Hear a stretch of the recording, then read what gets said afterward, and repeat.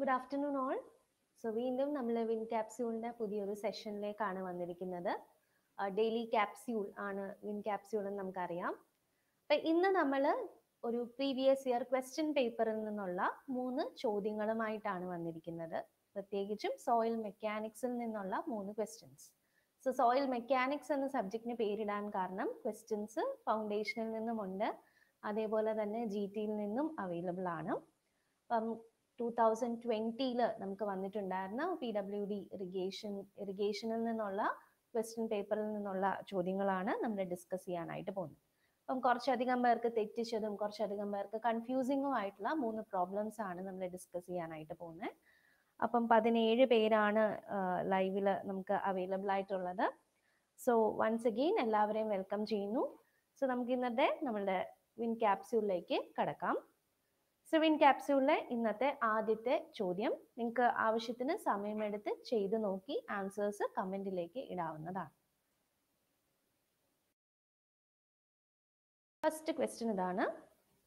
Two thousand twenty zero one three two thousand twenty A irrigation question പേപ്പറിൽ വന്ന ഒരു question ആണിത്. And ഇതാണ് നാല് ഓപ്ഷൻസും തന്നിട്ടുണ്ടായിരുന്നത്. So a vein 20 centimeter long and 10 centimeter in was pressed into soft marine clay at the bottom of a borehole. Torque applied gradually and failure occurred at 2000 kg per centimeter. The cohesion of clay in kg per centimeter square is. ചോദ്യം so answer നമുക്കൊന്ന് check ചെയ്യാം okay ശ്രുതിയും option C പറഞ്ഞിട്ടുണ്ട് Shruti P P option C so നാല് പേര് option C ആണ് പറഞ്ഞിരിക്കുന്നത് നോക്കാം കറക്റ്റ് ആണോ അല്ലയോ check ചെയ്യാം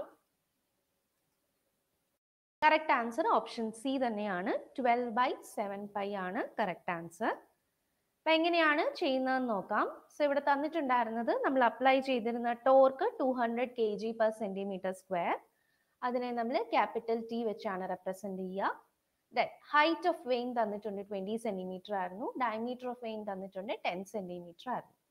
അങ്ങനെയാണെങ്കിൽ നമുക്ക് വെയിൻ ഷിയർ ടെസ്റ്റിൽ നിന്ന് കിട്ടുന്ന റിസൾട്ട് എന്ന് പറയുന്നത് ഷിയർ സ്ട്രെങ്ത് ആണ്. സോ ഷിയർ സ്ട്രെങ്ത് കണ്ടുപിടിക്കാൻ ഇക്വേഷൻ ഉണ്ട്. T by pi into D square H by two plus D cube by six values എല്ലാം സബ്സ്റ്റിറ്റ്യൂട്ട് ചെയ്യുക. സോ സബ്സ്റ്റിറ്റ്യൂട്ട് ചെയ്യുമ്പോൾ twenty two thousand divided by hundred and one thousand one sixty six point six seven കിട്ടും.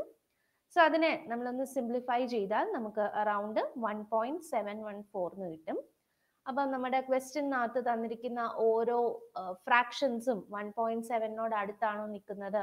One point സെവനോട് equivalent ആണോ എന്ന് നമ്മൾ check ചെയ്യേണ്ടതായിട്ട് വരും. അപ്പൊ ചെക്ക് ചെയ്തപ്പം ട്വൽവ് ബൈ സെവൻ എന്നുള്ള ഓപ്ഷൻ ആണ് കറക്റ്റ് ആയിട്ട് വരുന്നത്. അപ്പൊ ഷിയർ സ്ട്രെങ്ത് ആണ് ട്വൽവ് ബൈ സെവൻ പൈ എന്ന് കിട്ടിയത് പക്ഷെ നമ്മളോട് ചോദിച്ചിട്ടുണ്ടായിരുന്നത് ക്ലേയുടെ കൊഹീഷൻ ആണ്. സോ ഒരു ക്ലേനെ സംബന്ധിച്ചിടത്തോളം അതിന്റെ ഷിയർ സ്ട്രെങ്ത് തന്നെയാണ് അതിന്റെ കൊഹീഷൻ സോ ഇക്വേറ്റ് ചെയ്യുമ്പം C is equal to twelve by pi seven എന്ന് കിട്ടും. രണ്ടാമത്തെ ചോദ്യം.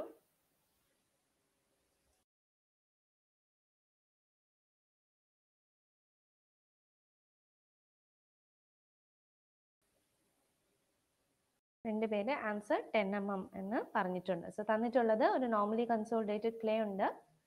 ഇഫക്റ്റീവ് സ്ട്രെസ് ഫിഫ്റ്റിയിൽ നിന്ന് ഹൺഡ്രഡ് ആക്കിയപ്പം ടെൻ എം എം സെറ്റിൽ ചെയ്യും. And effective stress further increased from hundred to two hundred ആണെങ്കിൽ what is the further settlement okay ഹൺഡ്രഡിൽ നിന്ന് ടു ഹൺഡ്രഡ് ആക്കിയാൽ വീണ്ടും എത്ര സെറ്റിൽ ചെയ്യും എന്നാണ് ചോദിച്ചേക്കുന്നത്. അപ്പൊ അവിടെയും നമുക്കൊരു ട്വിസ്റ്റ് പ്രതീക്ഷിക്കാവുന്നതാണ്. ദെൻ ടോട്ടൽ സെറ്റിൽമെന്റ് ആയിരുന്നു എന്ന് ചോദിക്കാം ഫർദർ സെറ്റിൽമെന്റ് എന്നും ചോദിക്കാം. രണ്ടും രണ്ടാണ്. ടോട്ടൽ എന്ന് പറയുമ്പോൾ നമുക്ക് ആദ്യം ഉണ്ടായിരുന്ന പത്തിന്റെ കൂട്ടത്തിൽ രണ്ടാമത്തെ കണ്ടീഷനിൽ എത്രയാണോ ആ വാല്യൂ കൂടെ ആഡ് ചെയ്യേണ്ടതായിട്ട് വരും. ഇവിടെ ഫർദർ സെറ്റിൽമെന്റ് എത്രയാണെന്നേ പറഞ്ഞിട്ടുള്ളൂ. അതായത് ഇനിയും എത്ര സെറ്റിൽ ചെയ്തു എന്നേ ചോദിച്ചിട്ടുള്ളൂ. സോ കറസ്പോണ്ടിങ് ആയിട്ടുള്ള സെറ്റിൽമെന്റ് കണ്ടുപിടിക്കും. സോ കൺസോൾഡേഷൻ എന്ന് പറയുന്ന ചാപ്റ്ററിൽ നിന്നുള്ള ചോദ്യമാണ്. നമുക്ക് കൂടുതൽ ഇങ്ങനത്തെ കമ്പാരിസൺ ടൈപ്പ് പ്രോബ്ലംസ് ഒക്കെ കൺസോൾഡേഷൻ ചാപ്റ്ററിൽ നിന്ന് പ്രതീക്ഷിക്കാവുന്നതാണ്. ഒരു കണ്ടീഷനകത്ത് ഇത്രയാണ് വാല്യൂ എങ്കിൽ മറ്റൊരു കണ്ടീഷൻ ആവുമ്പോൾ എത്രയാണ് വാല്യൂ സ്ഥിരം ആ ഒരു ഏരിയയിൽ നിന്ന് ഇങ്ങനത്തെ ഒരു റിലേഷൻ റിലേറ്റിംഗ് ടൈപ്പ് ക്വസ്റ്റ്യൻസ് ആണ് എപ്പോഴും വരാറുള്ളത്.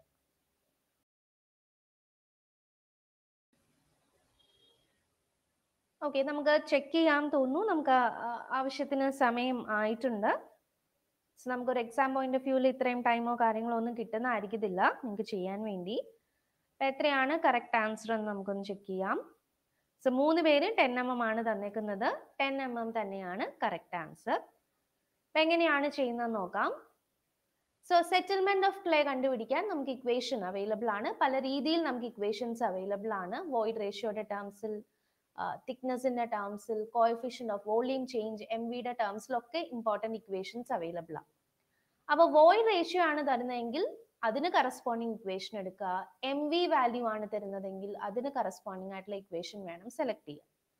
ജനറലി ഇൻ കേസ് നമ്മൾ കൺസോൾട്ടേഷൻ സെറ്റിൽമെന്റിന്റെ ഇക്വേഷൻ ആയിട്ട് പറയുന്നത് C C by H into one plus E naught log to the base ten sigma two bar by sigma one bar ആണ്. അതിന് ഇവിടെ പ്രത്യേകിച്ച് ചേഞ്ച് ഇൻ തിക്നെസ് ഉണ്ടായെന്നോ വോയിഡ് റേഷ്യോ ചേഞ്ച് ആയെന്നോ സി സി വാല്യൂ ചേഞ്ച് ആയെന്നോ ഒന്നും പറയാത്ത സ്ഥിതിക്ക് അത്രയും ആൾക്കാരെ നമുക്ക് കോൺസ്റ്റന്റ് ആണെന്ന് അസ്യൂം ചെയ്യാം തന്നിരിക്കുന്ന ക്ലേയിൽ അപ്പൊ പിന്നെ നമ്മൾ നോക്കുമ്പോൾ മെസ്സി ഇസ് പ്രൊപ്പോർഷണൽ ടു ആരാണ് log to the base ten sigma two bar by sigma one bar sigma one bar ആണ് initial stress sigma two bar ആണ് ഫൈനൽ സ്ട്രെസ് അപ്പൊ അവിടെ നമുക്കറിയാം ഫിഫ്റ്റിയിൽ നിന്ന് ഹൺഡ്രഡ് ആയപ്പം സെറ്റിൽമെന്റ് ടെൻ ആണ്. That is log to the base ten hundred by fifty ചെയ്യുമ്പം എനിക്ക് കൺസോൾട്ടേഷൻ സെറ്റിൽമെന്റ് പത്തെണ്ണം കിട്ടും. അതേ സെയിം പ്രപ്പോർഷൻ തന്നെയാണ് എവിടെയും വരുന്നത്? ഹൺഡ്രഡിൽ നിന്ന് ടു ഹൺഡ്രഡ് ആകുമ്പോഴും ഇല്ലേ? Two hundred by hundred log to the base ten two hundred by hundred എന്ന് വന്നു. That is again log two ആണ് വന്നത്. ലോഗ് ടു ആകുമ്പോൾ സെറ്റിൽമെന്റ് എത്ര തന്നെ ആയിരിക്കണം? ടെൻ എം എം തന്നെ ആയിരിക്കണം. സോ ഫർദർ ആയിട്ടുള്ള സെറ്റിൽമെന്റും എത്ര തന്നെ വന്നു? ടെൻ എം എം എന്ന് കിട്ടും. ഒരുപാട് പേര് എം വി വെച്ച് ഈ ഇക്വേഷൻ എം വിയുടെ ഇക്വേഷൻ വെച്ച് ചെയ്തിട്ടുണ്ടായിരുന്നു. എം വി വെച്ച് ചെയ്താൽ നിങ്ങൾക്ക് കിട്ടുന്ന value വ്യത്യാസമായിരിക്കും.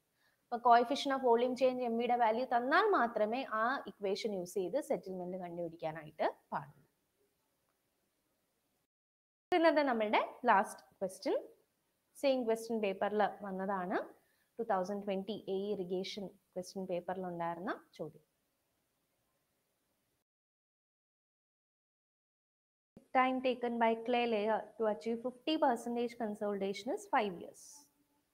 If the layer was half as thick, 5 times more permeable, 4 times more compressible, then the time required for the same degree of consolidation is okay. Jasmal Jasmal ആണ് ഏറ്റവും ആദ്യത്തെ ആൻസർ തന്നിരിക്കുന്നത് ഓപ്ഷൻ സി ആണ് ജസ്മൽ പറഞ്ഞേക്കുന്നത് വൺ ഇയർ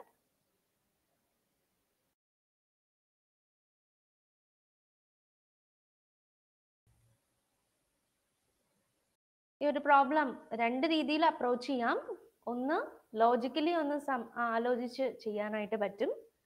രണ്ടാമത് ഇക്വേഷൻസും കാര്യങ്ങളൊക്കെ ഉപയോഗിച്ചും ചെയ്യാനായിട്ട് പറ്റും. ഓക്കെ ലക്ഷ്മി ആയിഷ കൃഷ്ണ ഒക്കെ ഓപ്ഷൻ സി വൺ ഇയർ ആണ് പറഞ്ഞിട്ടുള്ളത്.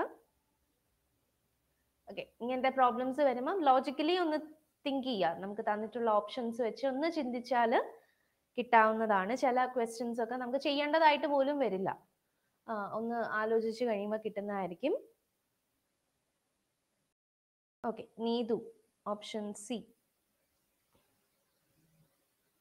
ഷംനായൻ ഓപ്ഷൻ സി ആണ് പറഞ്ഞിട്ടുള്ളത്. ഒരുപാട് പേര് ആൻസർ ചെയ്ത ക്വസ്റ്റ്യൻ ആണിത്. നമുക്ക് നോക്കാം എങ്ങനെയാണ് ചെയ്യുന്നതെന്ന്. തന്നേക്കുന്ന അമ്പത് ശതമാനം കൺസോൾഡേറ്റ് ചെയ്യാൻ അഞ്ച് വർഷം വേണ്ടി വന്നു. ഇനി ഞാൻ എന്ത് ചെയ്യാം? എന്റെ ലെയറിന്റെ തിക്നെസ് പകുതിയാക്കി. ഫൈവ് ടൈംസ് മോർ പെർമിയബിൾ ആയി ലെയർ ഫോർ ടൈംസ് മോർ കംപ്രസിബിളും ആയി പെർമിയബിലിറ്റി കൂടുന്തോറും എന്താ പറ്റുന്നത് പെട്ടെന്ന് വെള്ളത്തിന് എസ്കേപ്പ് ചെയ്ത് പോകാൻ പറ്റും. സോ വാട്ടർ എത്ര എത്രത്തോളം പെട്ടെന്ന് എസ്കേപ്പ് ചെയ്ത് പോകുന്നു? കൺസോൾട്ടേഷന് വേണ്ട സമയം എന്താണ്? കുറയാണ് ചെയ്യുന്നത്. അപ്പൊ എനിക്ക് ഇതേ അമ്പത് ശതമാനം കൺസോൾട്ടേറ്റ് ചെയ്യാൻ എന്താണ്? സമയം കുറവ് മതി. അപ്പൊ എനിക്ക് ഇപ്പൊ തന്നിരിക്കുന്നത് അഞ്ചു വർഷം വേണമെന്നാണ്. അപ്പൊ അഞ്ചു വർഷത്തിലും കുറവ് മാത്രം സമയം മതി. നമുക്ക് ഓപ്ഷൻസ് നോക്കിയാൽ തന്നെ കാണാം. Twelve year five year sixteen year പിന്നെ വൺ ഇയർ ആണ്. അഞ്ചു വർഷത്തിലും കുറവ് സമയം ആകെ ഒരെണ്ണം മാത്രമേ ഉള്ളൂ. വൺ ഇയർ മാത്രമേ ഉള്ളൂ. സോ ലോജിക്കലി അങ്ങനെ ചിന്തിച്ച് വേണമെങ്കിലും ആൻസർ ചെയ്യാം. അപ്പൊ കറക്റ്റ് ആൻസർ എന്ത് തന്നെയായിരിക്കും. വൺ ഇയർ തന്നെയാണ് കറക്റ്റ് ആൻസർ ഇനി അല്ല എന്നുണ്ടെങ്കിൽ നമുക്ക് ഇതിനെ ഒരു ന്യൂമറിക്കൽ സൊല്യൂഷൻ പോലെയും ചെയ്യാൻ പറ്റും. So C V D equation coefficient of consolidation C V T V D square by T ആണെന്നറിയാം. അതായത് C V proportional to D square by T ആയി. ബിക്കോസ് ടൈം ഫാക്ടർ രണ്ട് കേസിലും അമ്പത് ശതമാനമാണ്. ഇനി അതേപോലെ തന്നെ പെർമിയബിലിറ്റിയും കംപ്രസിബിലിറ്റിയും ഒക്കെ വെച്ച് കോയഫിഷൻ ഓഫ് വോളിയം ചേഞ്ച് ഒക്കെ വെച്ച് നമുക്ക് സി വി ഡി ഇക്വേഷൻ അറിയാം. അതിൽ നിന്ന് എനിക്ക് കെ ബൈ എം വി എന്നുള്ളത് കിട്ടി. എന്ത് ചെയ്യുന്നു? രണ്ട് കൂട്ടരും പ്രപ്പോർഷണൽ ആണെന്ന് എഴുതി. D square by T is proportional to K by M V ഇനി അതിൽ നമുക്ക് സമയമാണ് വേണ്ടത്. സോ ടി ഈസ് പ്രപ്പോർഷണൽ ടുവിന്റെ ടേംസിലേക്ക് എഴുതുന്നു. അപ്പൊ T one by T two എന്ന് പറയുന്നത് ഓരോന്നും വൺ ഇട്ടു ഓരോന്നിനും ടു ഇട്ട് കൊടുത്തു. ഇനീഷ്യലി തന്നിരിക്കുന്ന എല്ലാം വൺ വൺ വൺ ആണ് വാല്യൂസ് എന്ന് അസ്യൂം ചെയ്യുന്നു. രണ്ടാമത്തെ കേസുകളിൽ ചിലത് ഹാഫായി ചിലത് ഇത്ര ടൈംസ് ആയി നമ്മൾ കണ്ടു.